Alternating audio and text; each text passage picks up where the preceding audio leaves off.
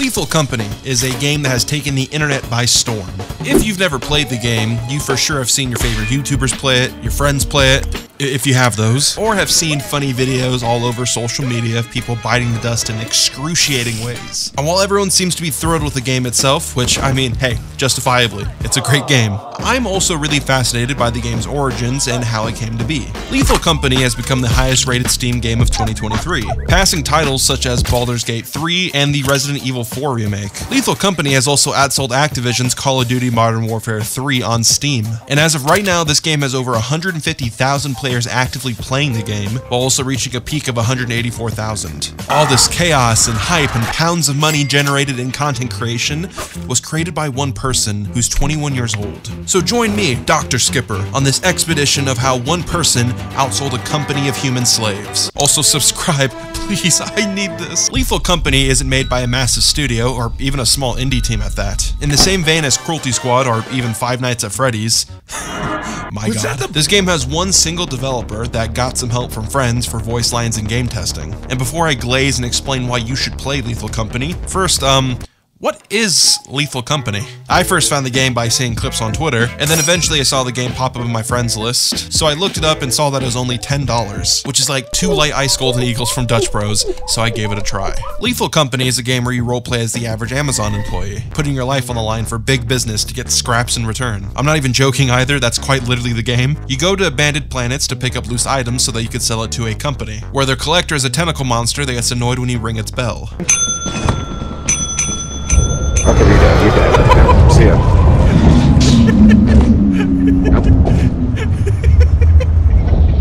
Yep.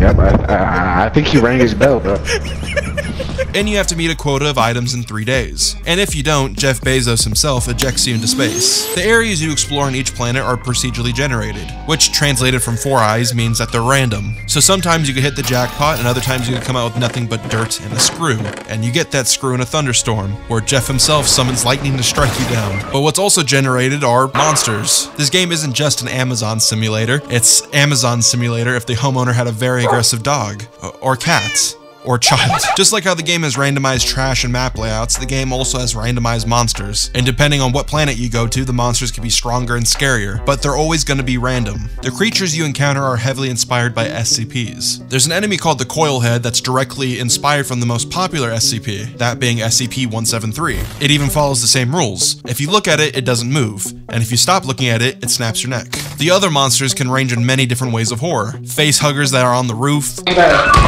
Oh, oh my god! Sweets is dead! Oh! Sweets is dead! A land shark! you guys get. Oh Land shark! Land shark! Holy shit! Did it blow itself up? That's pretty cool. A stalker. Oh. What? what the hell oh. is that thing? What'd you find? Run, run, run, run, run, run, run. Yellow tape around his body. There's even psychological warfare where a little girl haunts you, putting you on a timer that will eventually kill you, and you're the only one who can see her.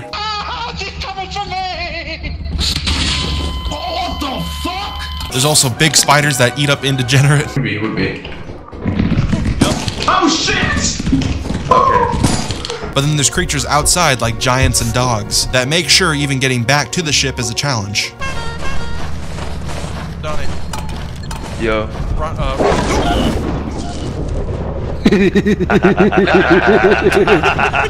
and then you got a jack in the box. Now that's an awfully high quality.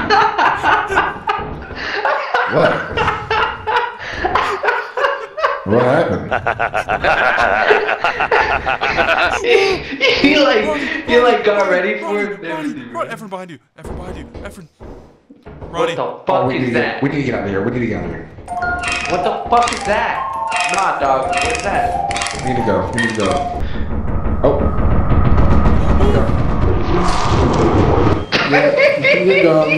He's dead. huh? the game's premise is simple, but what makes Lethal Company so fun is its design of co-op play. Give me that.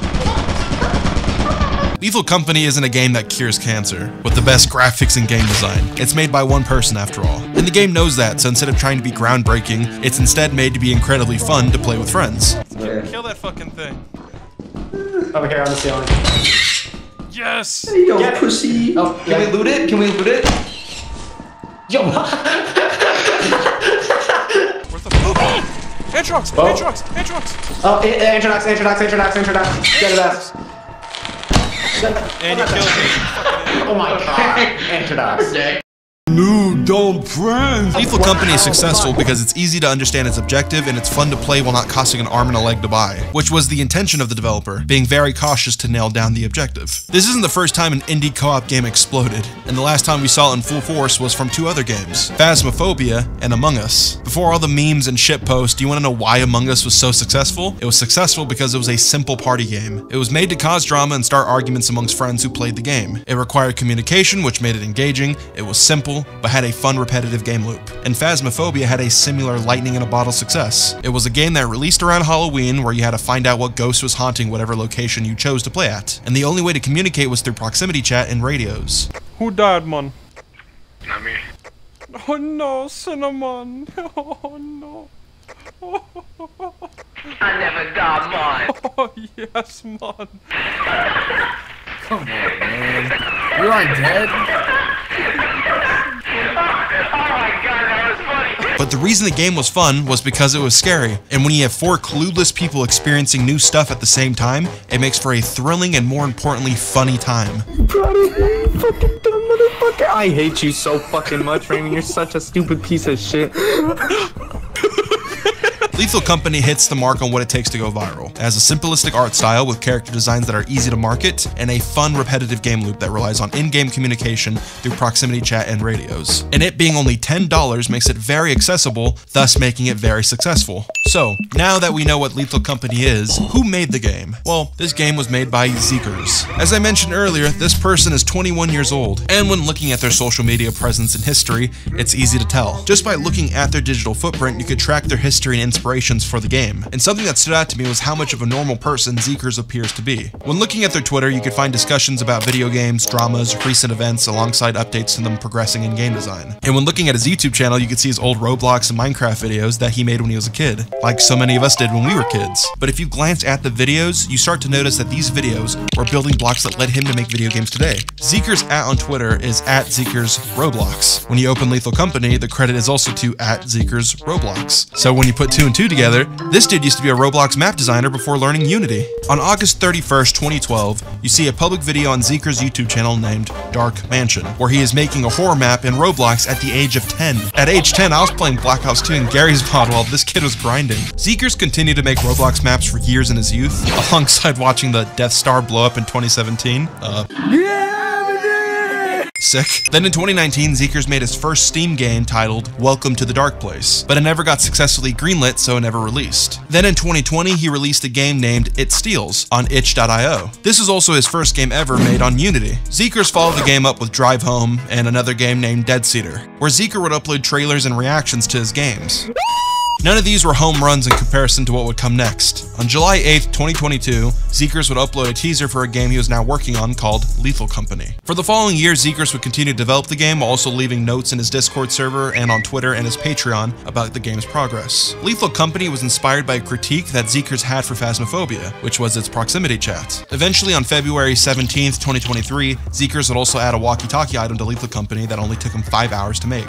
Later, he also learned how to add rain and music, which is also seen by a Twitter update on June 26th. Then Zeekerss would run into a problem with Lethal Company due to a drama with the game's engine. In 2015, Zeekerss would begin to learn the Unity engine so that he could make games outside of Roblox, which is seen by his post on October 9th. Then two years later in 2017, Zeekerss would continue to learn the Unity engine. Eventually, his games were all made in Unity, but in September this year, the Unity engine had a controversy. The controversy was that if any game made with the Unity engine passed a certain installation and revenue threshold, that the developer would start to get charged a fee for every time the game was downloaded. Zeekerss would respond to this drama on September 16th, 2023. After the statement, Zeekerss would also post his progress on learning the Epic Games Unreal Engine. Even with roadblocks, Zeekerss would progress to finish Lethal Company on the Unity engine. A year later, he released the official trailer on August 1st this year, to then release the game on October 23rd. I bring up the history of Zeekerss because he's no one special. I mean, he's special in his own way, but me and him are the same age, and I see so many types of similar traits. As a kid, I pirated editing softwares and taught myself himself how to edit videos. And this kid was making Roblox maps and taught himself how to use game engines. This single dude outsold Activision and made a more popular game than a ton of bigwig AAA game studios. All because he used to make scary maps on Roblox. I have a video on my channel about online animation that documented how powerful the internet can be, and that video just keeps aging like fine wine. You could be an idiot who draws art for Twitter or Tumblr and then make a TV show. You could be an idiot who makes funny fighting videos to then make a movie for a big studio. And you could be an idiot who makes shitty Unity games or Roblox maps to then make the biggest game of the holiday. The internet allows you to do so much, and gatekeeping isn't like it was back then. You don't need a degree or connections to make a video game. The best way to make video games is to